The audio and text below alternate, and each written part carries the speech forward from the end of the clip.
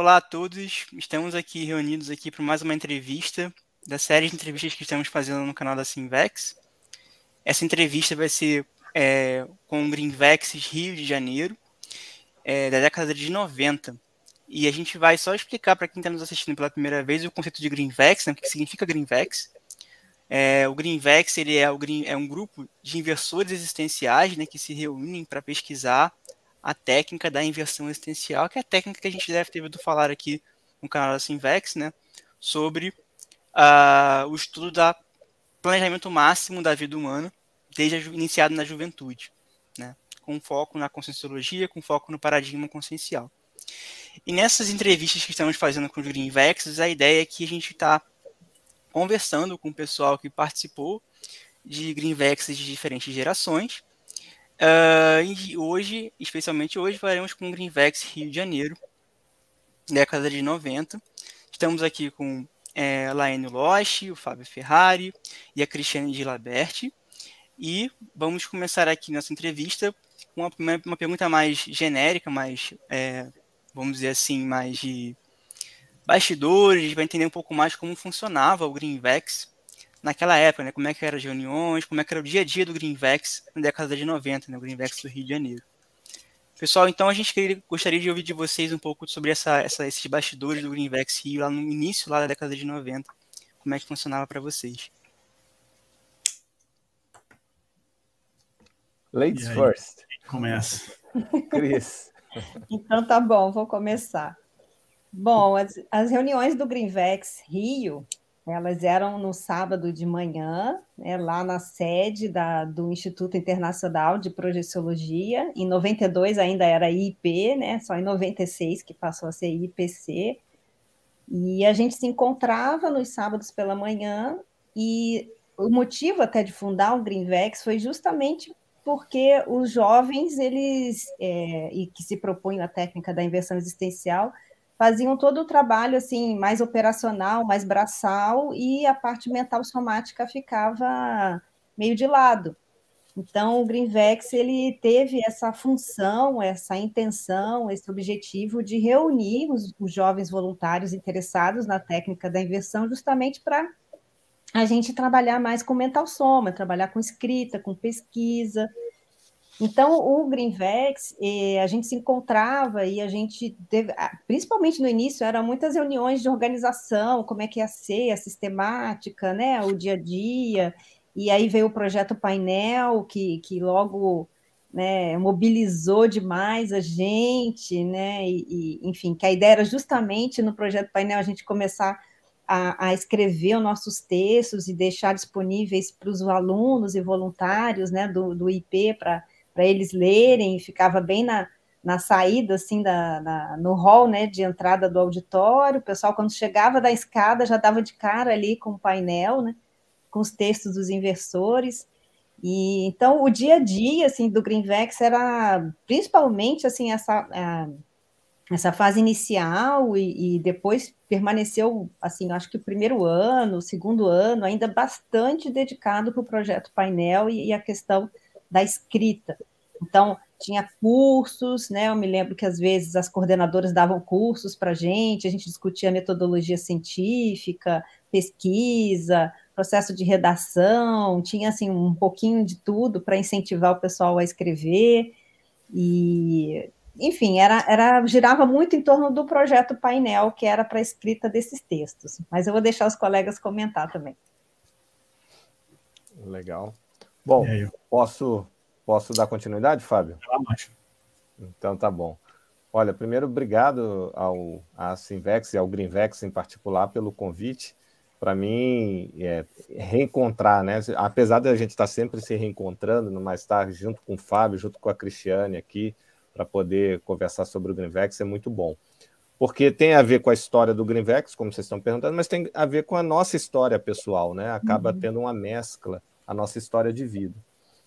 E complementando o que a Cris trouxe, é, era muito interessante porque a gente tinha, depois, quando a, as reuniões passaram a ser regulares, né, é, encontros a, a cada 15 dias, o foco principal, sobretudo no início, era como a professora Cris colocou, né, a questão do, da gestação consciencial, né, a produção mental somática do, dos inversores. E, mas é, era muito reforçado, né, a pergunta sobre o dia a dia, era muito reforçada a nossa convivência devido ao voluntariado. Então, a gente tinha um, um contato também nas outras atribuições ao longo da semana, né, ao longo dos dias, assim, é, nas diferentes funções de voluntário, e tinha o um momento do sábado, quinzenalmente, para as atividades do Greenvex. Mas o nosso vínculo ele estava contínuo. Então, isso repercutiu positivamente também, porque não era somente a cada 15 dias que a gente se encontrava. Naquela época não tinha redes sociais, não tinha é, nem celular na época tinha, né? E então não, não era, não havia facilidade de comunicação como nós temos hoje. Mas por outro lado, a gente estava se encontrava muito presencialmente. Então isso tudo criou um, uma, uma, um holopensene muito mais positivo, muito mais próximo né, de vínculos entre os membros do Greenvex. Agora, eu só queria aproveitar, Igor, destacar que essa nossa história lá no Greenvex Rio é também a fundação do primeiro Greenvex, né? porque esse Greenvex que a gente participou na época foi justamente a, a constituição do primeiro Greenvex, né? De, entre todos. Então ali era tudo muito pioneiro, né? A gente estava ali numa condição de pioneirismo, uma condição de cobaia de nós mesmos, né? E, e, e não tínhamos também a ideia aonde isso ia dar, aonde ia parar. Muito do que se tem hoje, eu, eu confesso para você que eu, pelo menos eu via com todo mundo, mas posso falar mais por mim. A gente nem pensava de algumas coisas que hoje existem do ponto de vista da conscienciologia e a gente não tinha nem ideia, principalmente naquela época, falando em termos de 92, né? 9 de fevereiro de 92, quando foi fundado o Greenvex. Então é uma experiência assim muito rica, muito interessante. É, então, eu lembro também muito dessa questão do convívio, né, que a gente tinha lá. Eu acho que isso foi muito positivo. E essa, esse painel aí que a Cris comentou, né, que a gente criou lá no, bem na entrada, quando a pessoa chegava no IPC, era IP na época, né? Então ela chegava, tinha o painel Greenvex e tinha os artigos, né, os textos eram expostos ali. E isso era muito positivo, assim, por exemplo, era um grande incentivo, né, vendo assim pelo meu lado, que, eu, que me ajudou muito, assim, no sentido de desse interesse mesmo pela questão da pesquisa, né, que a gente fazia lá, e, e pela escrita, né, porque ali foi um grande laboratório, né? Eu vejo um grande laboratório mental somático e onde a gente podia escrever dentro de um paradigma mais avançado, né? Que, que, no, que a gente escrevia lá, a gente não não poderia escrever, por exemplo, numa faculdade ou em outros locais, né? Ou teria mais dificuldade. E ali a gente não tinha essas amarras, né? A gente falava de projeção com maior naturalidade, falava dos fenômenos parapsíquicos, do, da questão de paradigma, né? Então eu lembro aqui, por exemplo, bem do início, né, um dos primeiros assuntos que a gente estudou foi a questão de holografia. E aí tinha a questão do paradigma holográfico. Eu tenho até um livro dessa época aqui, não sei se vocês lembram desse livro. Uhum. Paradigma holográfico. Que ele falava que uma investigação nas fronteiras da ciência, né? Uhum. Então, justamente já, já era essa ideia, né, da gente procurar entrar numa condição mais de vanguarda, né, dentro do conhecimento, e, e acho que foi extremamente interessante esse laboratório. E aqui, porque esses, esses pesquisadores né, do paradigma holográfico, que já era, era um movimento que já vinha ali da, do, do final da década de 70, década de 80, mas a gente estava estudando isso na década de 90, né? Então, assim, é um movimento mais lá ligado aos Estados Unidos, tinha algumas pessoas na, na Inglaterra também, e, e eles estavam justamente tentando entender a questão dos parafenômenos e tentar encaixar isso com a ciência, de certa forma, né? Então, eles estavam tentando avançar, né? Não, claro, não tinham ainda essa visão da conscienciologia, né? Do paradigma consciencial, mas eles já estavam ali na fronteira, né? Das, tentando sair da ciência convencional. Então, esse, essa foi uma pesquisa que, que para mim, assim, acho que chamou muita atenção, né? Eu acho que é, o professor Valdo, ele estimulava muito, né? Essa, a gente está estudando esses assuntos de ponta, né? E, enfim, é, essa. E aí também houve essa condição do primeiro, dessa apostila, né? Vocês, todo mundo lembra aqui, né? Mas dessa apostila dos gestações essenciais, né? Que foi a primeira coletânea. Deixa eu botar mais na tela aqui. E justamente um dos temas aqui é esse da holografia, mas tinha também os, os artefatos do saber, a condição da multimídia, né? Porque a multimídia também é interessante porque naquela época os computadores estavam começando a ter essa condição do som e de melhor, e melhorar a imagem, o vídeo, né? Porque computador até então era para escrita, né? Era quase uma máquina de escrever mais avançadinha. Mas enfim, eu trouxe isso daqui porque eu achei que seria interessante a gente estar tá, tá relembrando isso aqui. Não, com certeza. E assim, acho que até a gente poderia aproveitar, já que já, já deu essa deixa aí, Fábio, a gente falar um pouco mais dos projetos que vocês conseguiram tocar naquela época do Greenvex, né? É, tanto do, vocês falaram um pouco do projeto painel, né? Então, poder falar um pouco mais dos temas de pesquisa que o pessoal publicava ali no painel, atividades que vocês propuseram ali, até mesmo dentro do voluntariado, que surgiram, podem ter surgido em função do próprio Greenvex, né? Coisas que vocês viram, identificam hoje, é, que é, surgiram ideias, sugestões, possibilidades em função dessa reunião de investidores essenciais, né, é, dentro do grupo de pesquisa. É, também, se vocês puderem comentar um pouco mais também sobre os temas que vocês pesquisavam ali, o Fábio já comentou um pouquinho né, da, da Casa da Paradigma Holográfico, mas também quais outros temas que vocês pesquisavam naquela época e, enfim, fiquem à vontade aí para trazer suas, suas, suas experiências. Olha, é, o projeto painel, eu acho que foi o grande carro-chefe assim do, do Greenvex. E por causa dessa questão do incentivo à escrita, né? E eu estou falando do âmbito dentro do Greenvex só, mas tem todo esse contexto maior, como o, o, o, o Losch trouxe, né? Da, do convívio fora, era um contínuo, né? A gente se encontrava durante a semana, a gente fazia telemarketing, a gente botava cartaz na rua, a gente botava cartaz nos ônibus de madrugada, né? A gente, enfim, fazia mala direta. Me lembro que às vezes a gente tinha reunião do Greenvex no sábado de manhã, e aí a gente ficava lá à tarde, às vezes até à noite, às vezes até madrugada, carimbando e dobrando mala direta. Ouvindo até dormindo lá no IPC. Né? É, até dormindo quando precisava lá no, no IPC. Então a gente botava música e juntava toda a turma do Greenvex e a gente fazia mala direta, que era o jeito de fazer a divulgação na época né? Então, aí depois tinha uma outra equipe que levava para o correio e, e, e né, despachava tudo isso para convidar as pessoas para os cursos, né? Para os, os cursos curriculares e extracurriculares do instituto. E então realmente era um contínuo assim, né? O voluntariado e o trabalho do Greenvex. E dentro do trabalho do Univex, eu acho que esse projeto painel que foi que puxou muito, que, que fez a gente escrever. O meu primeiro artigo que eu publiquei nessa vida foi dentro do Greenvex, foi pelo Greenvex. Eu escrevi sobre linguagem e comunicação. Foi um artigo pequenininho que está nessa, nessa apostila aí que o Fábio mostrou, né? O primeiro número aí dos gestações conscienciais.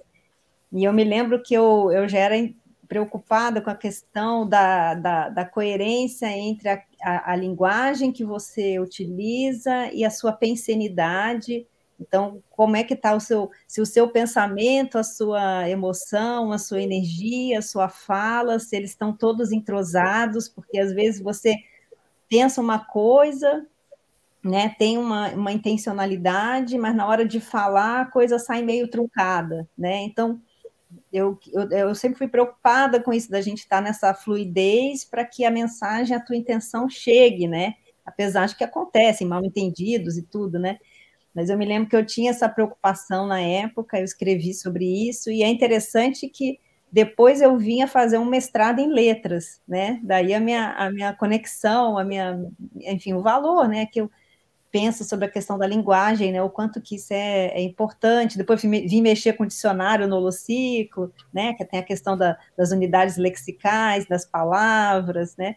É interessante como, e naquele momento no Greenvex eu nem, não estava, né, a gente nem sabia que existiria CAEC, Holociclo, nada disso, né, foi totalmente novidade, né, como o Lost trouxe antes. A gente não imaginava que o Instituto ia tomar uma dimensão tão grande quanto tomou.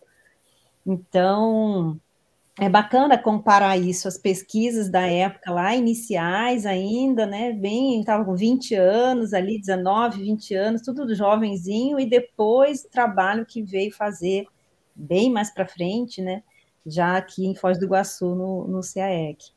Então, acho que, assim, é, para mim, assim, me chama muita atenção essa continuidade da, da da, do voluntariado com o próprio Greenvex, é, e essa ênfase na pesquisa, na escrita, que foi fundamental para mim, acho que para todos nós ali, para a gente deslanchar nesse processo mesmo das, das GESCONs, né, e, e do mental soma mesmo. É interessante o que a Cris está trazendo, porque para quase para todo mundo ali era, era a primeira experiência com pesquisa, com escrita, é, do ponto de vista mais formal, né? Claro que todo mundo já pesquisava na escola, já escrevia, mas não assim se propor a escrever um artigo científico, né? uma escrita científica e com um desafio ainda de algo novo que era a própria conscienciologia. Então tinha a questão científica, que já tinha uma estrutura, uma exigência mais ali formal, e ao mesmo tempo você tinha que ultrapassar isso, porque tinha que tra trabalhar com o paradigma consciencial. E a gente, às vezes, ainda na condição de adolescentes, né? por exemplo, eu nessa época, eu ainda estava no, no ensino médio, que hoje seria o ensino médio. Então eu lembro da gente é, comprando livro de metodologia científica, livro que você só pegaria na, na faculdade, né? E o Greenvex propiciou isso. Meio que colocou a gente de, logo de cara com esse tipo de pesquisa, de, de estudo, né? Então, pensar o que, que é. E eu lembro também que foi algo muito interessante, que nós no Greenvex a gente foi para estudar dentro de biblioteca. É, não sei se a Cris vai lembrar, e o Fábio, mas a gente foi lá para a biblioteca do Banco do Brasil, que é uma biblioteca, tem um centro cultural Banco do Brasil no Rio de Janeiro, e uhum. o Greenvex foi em peso lá, então tinha as salas, e a gente usava as salas, né, porque é público, né, é uma instituição pública, e foi muito interessante, porque eu nunca tinha tido essa experiência de ir para uma biblioteca. Lembrando, tá, gente? Sempre é bom contextualizar quem está nos assistindo hoje. Hoje a gente tem facilidade de acessar tudo pela internet. Naquela época a gente não tinha nada disso. Tudo era com base principalmente nos livros. E mesmo os livros você não tinha facilidade de acessar. Então, às vezes, a gente tinha que buscar mesmo nas bibliotecas para valer. E foi uma experiência muito rica de ir para dentro de uma biblioteca e fazer pesquisa lá dentro. Né? Hoje nós temos holoteca, naquela época nem campus havia. Né? E eu vejo que foi é, isso afetou muito a nossa formação cultural e a nossa visão de mundo. Eu acho que naquela época ter contato, como também muitos dos inversores que chegam hoje já participam desde adolescente no Grivex, isso tem um impacto muito grande que ele só vai dar ou ela, né, só vai se dar conta quando tiver mais maturidade para poder fazer essa comparação, para poder fazer essa avaliação. Né? Uhum. Então, assim, dos projetos, eu vi o projeto painel, sem dúvida, como a Cris falou e o Fábio também mostrou aí já resultados, foi o principal, foi o carro-chefe. Né? Que, e, e vejam, diretamente ligado com produção mental somática e é, assistência, né? TARES. Então, isso foi muito forte. A gente fala projeto painel, talvez alguns aí ficam, às vezes, em dúvida, né? mas era, a Cris já explicou, porque os artigos eram colocados num painel que ficava numa parede que era na entrada do, do auditório. Então, as pessoas iam assistir palestra e podiam ler os artigos. Vocês veem, os artigos ficavam assim, né, expostos. Né? Agora, eu lembro também, a Cris chegou a citar aí, que era o, o, o programa, Cris, Relâmpago, que era o nome dessa, dos uhum. cursos de qualificação. Né? A gente teve curso de redação, de técnica de redação, na época uhum. com a professora Rosália. É, nós tivemos curso de metodologia científica com a Tânia, irmã da Cristiane, então, e outros, né? Então, a gente teve um programa de qualificação dos jovens, né? dos jovens intermissivistas, dos inversores. Uhum. Então, esses são projetos que vale a pena. O programa Relâmpago, para justamente dar base, ou qualificar mais, para o principal, que era o projeto painel. Mas nós uhum. tivemos também a prova da Invex, que foi um marco, né? Foi a primeira especialidade, a Invexologia foi a primeira especialidade a ter uma prova, antes até do que a prova de Conscienciologia hoje. Então, lá na década de 90, foi feita a primeira prova né, de uma especialidade ou de conteúdo, assim, claro, tinha prova na formação docente, se eu não me engano, né? mas prova mesmo é, para fazer essa avaliação do conhecimento, como é que estavam os pesquisadores, foi a questão da invexologia. E vários outros projetos né, para viabilizar. Por exemplo, nós fizemos uma rifa que foi para conseguir um computador 486. É, é. Era assim, o top do top. Hoje acho que ele serve para fazer conta. Né? Mas naquela época, gente, era uma coisa assim incrível. E por que, que eu estou ressaltando isso? Porque projetos como esse, hoje comprar um computador é fácil. Naquela época, gente, eu não sei, Cris, Fábio, mas era quase como se comprar um carro, né? De pré era é. difícil, ninguém, ninguém tinha dinheiro para fazer, era um negócio assim super difícil e caro, né? E isso mobilizou. Nós íamos para as universidades, nós íamos para as escolas, nós fomos para vários locais para vender rifa, gente, para levantar dinheiro para poder comprar um computador para o Greenvex.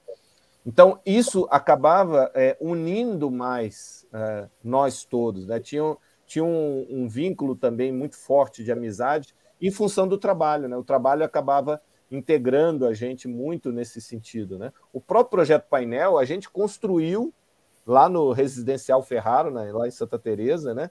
A gente Foi. construiu na casa da Cris, da Tânia, do, do Ricardo, Ricardo. É, é, o painel. Então, nós tivemos que comprar madeira, comprar o feltro, né? E, e, vários pontos. Então a gente tudo a gente construía, né? Isso era muito Valdomiro, lembra? Valdomiro, Valdomiro. ficou serrando, lixando. É. Ele tinha um, um, feltro amarelo, né, no fundo. Isso. E tinha um vidro, né, que a gente fechava. O vidro, é isso, é. é. Então, para vocês verem como é que era, era meio movimento maker, né? A gente fazia, nós fazíamos as coisas mesmo, literalmente, né? Mas mas o interessante desse painel é porque às vezes acontecia assim, várias vezes aconteceu, né? chegava alguém, lia um artigo, a pessoa te encontrava no corredor, ah, eu li seu artigo, né? Porque a pessoa via, tava o seu nome lá. E isso era um grande incentivo, né? Porque quando você é jovem, você precisa desse tipo de incentivo. Você ainda está é, firmando a sua, autoconfiança, a sua autoconfiança, né? Principalmente a autoconfiança intelectual também. Então, quando a pessoa via um artigo, às vezes uma pessoa que tinha mais idade, bem mais idade que você, e ela falava: Olha, gostei muito daquele artigo que eu li e tal, escreve mais, né? A pessoa falava isso. Então, aquilo era muito positivo, né? Para o jovem, era um grande incentivo. Né? É, e então, um detalhe também nessa linha do que o, o Fábio está uhum. colocando é que, na verdade, o Greenvex, naquela época a gente não chamava de Greenvex, a gente chamava de GPC, né? Grupo de Pesquisa da Consciência ele foi o primeiro grupo de pesquisa da, da Conscienciologia. Então, é importante a gente situar isso. Então, o Greenvex, os inversores, deram exemplo no sentido de incentivo também por estar produzindo, devido a esse projeto painel, para que outros voluntários dentro da Conscienciologia se mobilizassem, criassem grupos de pesquisa e produzissem. Então, acho que é interessante destacar esse papel do inversor com o processo do exemplarismo na questão mental somática, por exemplo. Né?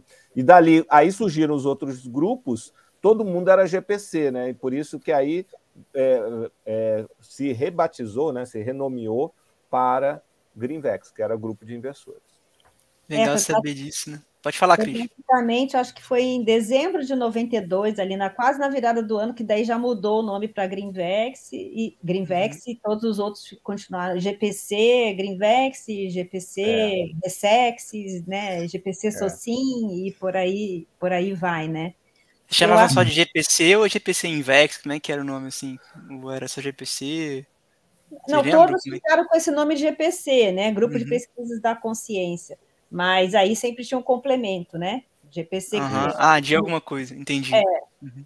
é Greenvex, Gressex, mas na prática a gente acabava falando Greenvex, Gressex, Socin, né? A gente falava mais assim, mas, mas uhum. escrito era o GPC Socin, o GPC Greenvex, o GPC Gressex, né?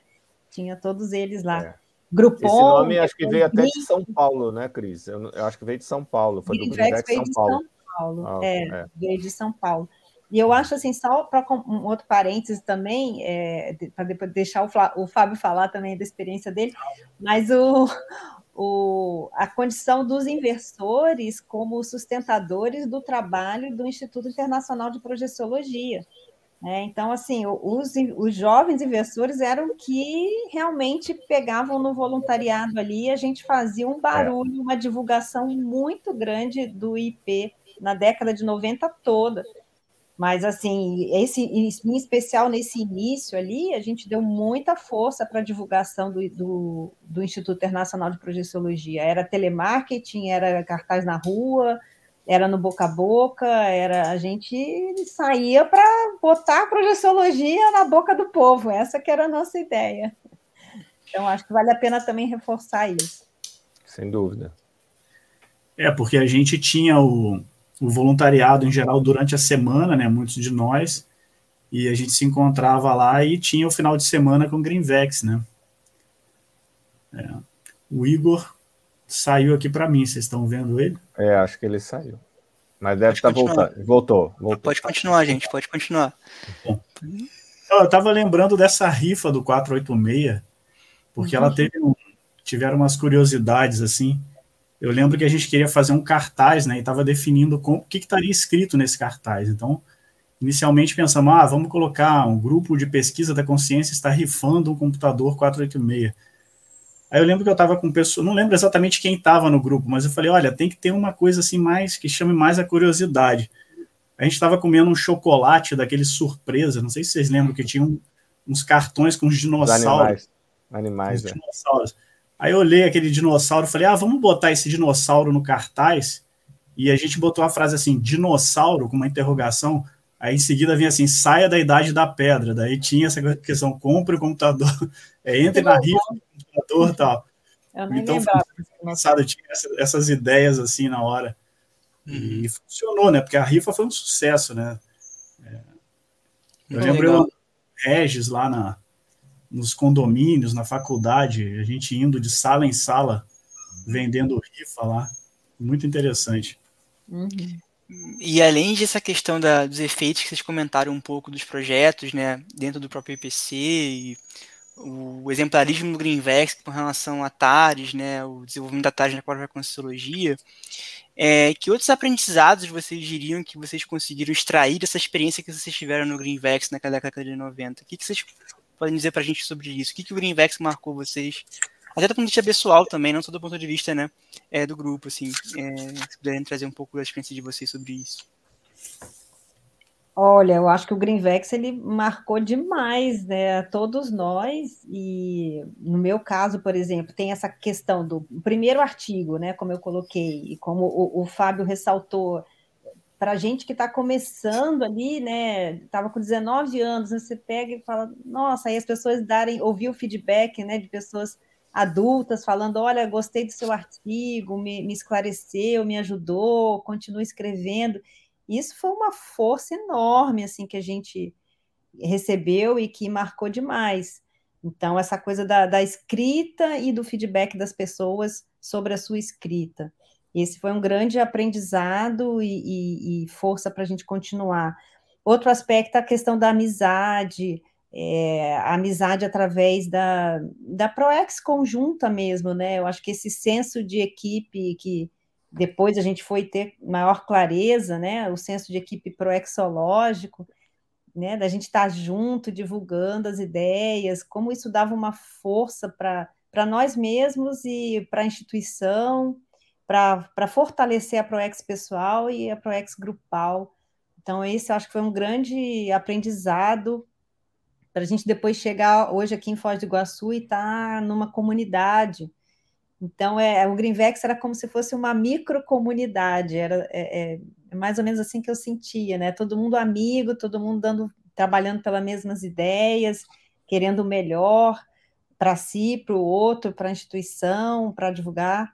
Enfim, eu achei que eu acho que o Greenvex foi essa essa microcomunidade que depois a gente aqui em Foz do Iguaçu estamos numa comunidade aí com centenas de pessoas e que tem tudo a ver essa essa essa expansão, né? Como se aquele sentimento que a gente tivesse no Greenvex tivesse expandido para uma dimensão muito maior.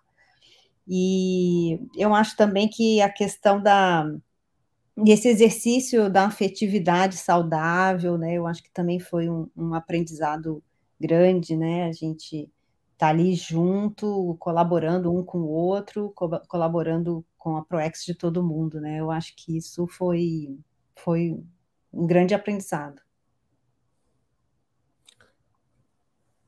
É, complementando isso que a Cris trouxe, eu concordo aí. É, eu vejo assim, a Cris tocou na questão da amizade, né, na afetividade sadia, e é interessante que a gente pode ver o processo da amizade proexológica, amizade intermissiva mesmo. Né? Hoje a gente já tem condições de compreender mais isso.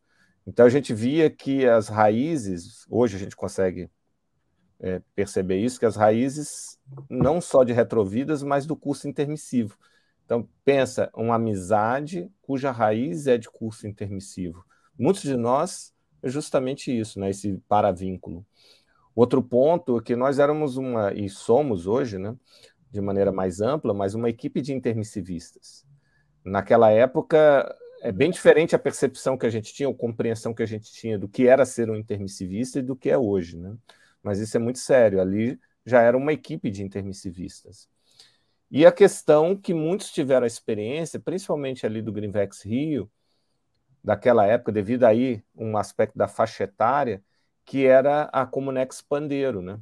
Que a gente pode colocar como uma Comunex, que era uma Comunex temporária, que é a partir do professor Valdo, que estava estruturando isso. E muitos tiveram, estiveram na, no Pandeiro.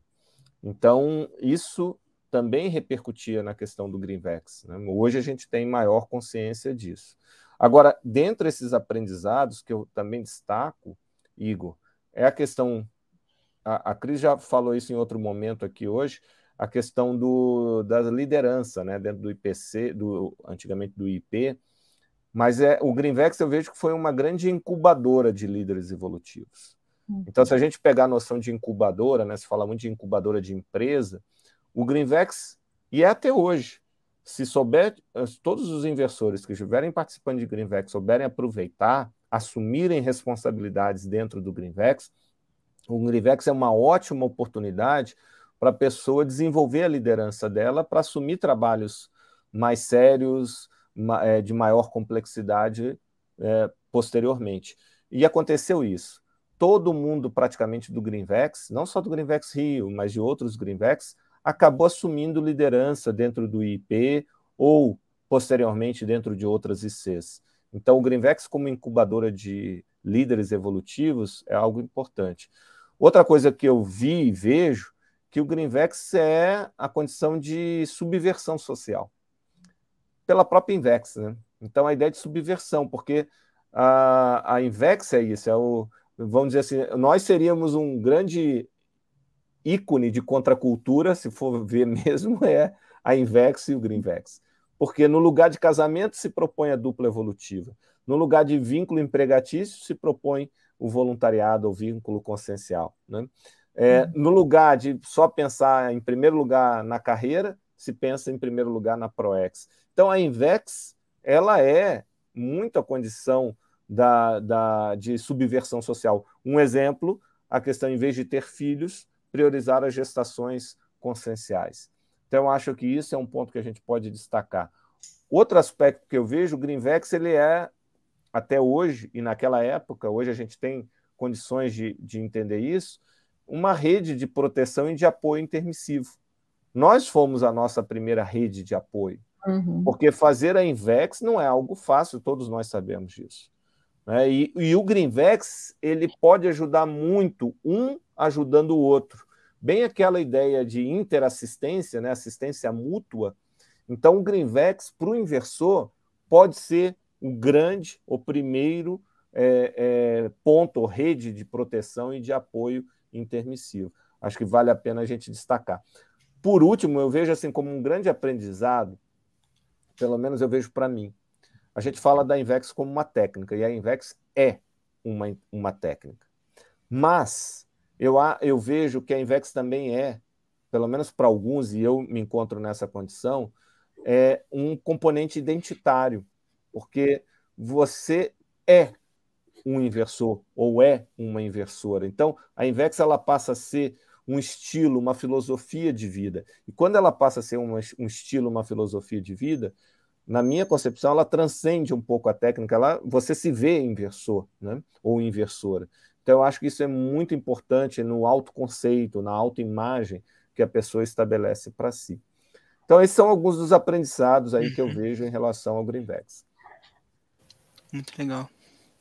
É, eu, eu, destaco, eu destaco aqui essa condição da, do convívio, né, que já foi comentado, da, da, das amizades evolutivas, né, eu acho que isso foi muito importante, e eu acho que às vezes a gente não tem nem, é difícil até ter dimensão disso, porque como a gente era muito novo e, e isso já estava fazendo parte, né, do nosso dia a dia, e a gente, depois que o tempo passa, a gente olha para trás e vê, nossa, mas aquilo ali estava com 18 anos, né, e haviam idades diferentes, mas no meu caso eu tinha 18 anos quando começou o Greenvex, então estava ali no início, né, de tudo, começando faculdade e já naquele meio.